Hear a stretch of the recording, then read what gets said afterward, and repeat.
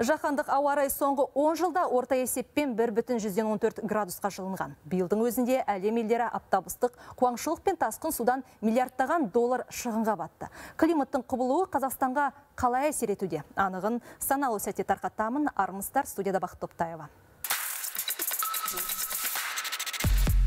Соңғы 8 жылдан бері жаһандағы ауа райының өзгергені анық байқалады. Үздіксіз бақылау жүргізетін дүниежүзілік метеорология ұйымы бұл жөнінде қысқаша баяндамасында келтіреді. Оның толық нұсқасы тек келер жылдың сәуір айында жарияланбақ. Десе де алдын ала келтірілген мәліметтер көңіл көншітпейді. Ғалымдардың есебінше 1993 жылдан бері мұхит деңгейінің көтерілу қарқыны екі есе үдеген. Соңғы екі жарым жылда оның деңгейі 10 миллиметрге көтерілген. Бұл соңғы 30 жылдағы көрсеткіштің 10 процентін құрап отыр. 2022 жылы Еуропалық Альпі мұздығына орасан зор шығын келген. Бұл жерде алғаш рет мұздықтардың еру рекорды орнады. Гренландиялық мұздың массасы 26 жылдан бері кеміп келеді. Ал қыркүйек айында онда қардың орнына тұңғыш рет жаңбыр жауды. Мұндай қарқынмен елу жылда мұхит арнасы жарты метрде көтерілу бек мүмкін. Мұхитты жағалай қоныстанған мемлекеттер үшін бұл аса қауіпті.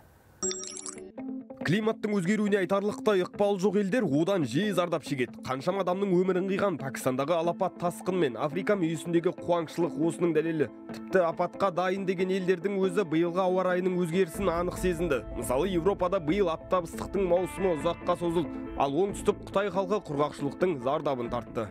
Еуразия құрлығының қақ ортасындағы Қазақстанға да климаттың өзгеруі әсер етпей қоймайды. 2030 жылға қарай жылдық орташа температура Цельсий бойынша 1-2 градусқа жылынбақ. Ал 2050 жылға таман 2-3 градусқа артады деген болжам бар. Мұндай деректерді Біріккен ұлттар ұйымының даму бағдарламасының қолдауымен зерттеу жүргізген сарапшылар келтіріп отыр. Зерттеу климаттық өзгерістің халық денсаулығына салдары мен денсаулық сақтау жүйесіне артылар жүкті бағымдауға арналған. Есепте ауа райын тікелей және жанама әсері келтіріледі.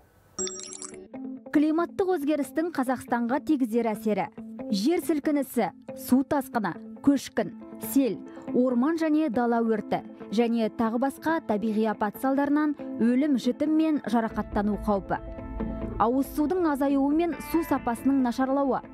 Температураның жоғарылауынан жүрек қан тамырлары және психикалық аурулардың өршуі. Ауа сапасының нашарлауынан респираторлық аллергиялық және онкологиялық аурулардың артуы. Тырысқақ а гепатиті кене энцефалиті сияқты тағы басқа инфекциялық аурулардың таралуы. Есепте айтылғандай климаттың кесірі денсаулықтан бөлек Қазақстандағы азық түлік және электр энергиясының өндірісіне де тиеді. Алайда бұл тек біздің елге ғана тән проблема емес. Әлем елдеріне ортақ мәселелер осы күндері Египетте өтіп жатқан жаһандық климат жөніндегі саммитте қаузалады. 120 мемлекет басшысы қатысатын КОП 27 жиынында әр елдің ұлттық жоспары ұсынылады.